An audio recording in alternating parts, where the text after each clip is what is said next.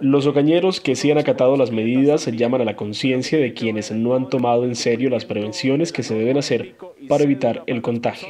Tenemos que respetar, tenemos que empezar a concientizarnos que esto es una pandemia, esto no es unos carnavales, los carnavales fueron en enero, no ahora.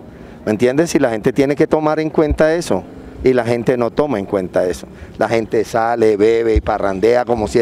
Es una pandemia, hermano, que nos podemos morir. Medio mundo se puede morir.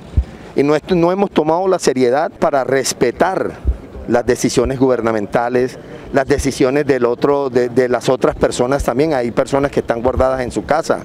¿Me entiendes? Y si nosotros no respetamos y no hacemos lo que tenemos que hacer, entonces para mí, para mi concepto, muy especial, que saquen el ejército a la calle.